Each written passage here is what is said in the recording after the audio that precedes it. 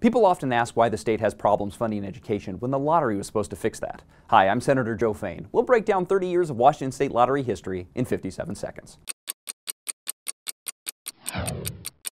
The perception that our state lottery helps pay for education came about partly because of a series of failed attempts to first create the lottery in the 1970s and early 80s that would have done just that. In fact, during the same time, there were several equally unsuccessful proposals to create and dedicate the lottery to transportation, cities and counties, and social services. The legislature finally authorized Washington's lottery in 1982, but the proceeds were not dedicated to education because the global economic recession had just ended and lawmakers wanted greater flexibility with the money. In 2000, Washington voters approved Initiative 728, which earmarked lottery funds to the new Student Achievement Fund, primarily for class size and school construction. In 2002, the lottery expanded to include the multi-state game Mega Millions and dedicated the first $102 million of overall proceeds to education. But in 2009, following another economic recession, the legislature directed lottery proceeds back to the state general fund as part of a plan to close the budget deficit. The following year, the state changed plans again, directing more than $100 million a year from the lottery to support higher education scholarships and financial aid.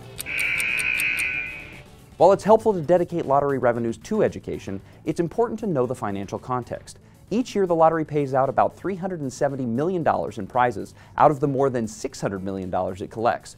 Even if all the proceeds were spent on schools, it would still amount to less than 1% of what Washingtonians spend each year on K-12 education. If you like this video, share it with your friends, then contact me and let me know what we should cover next. Thanks for watching.